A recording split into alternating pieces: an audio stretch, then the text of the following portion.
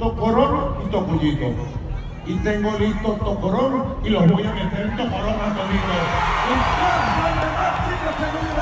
Para que sus crímenes ante el pueblo.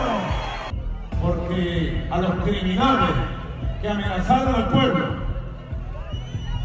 a los criminales que atacaron hospitales, estaciones del metro,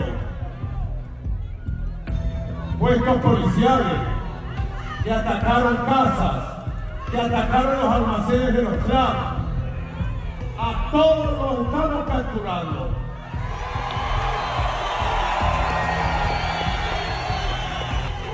¡1.200 capturados!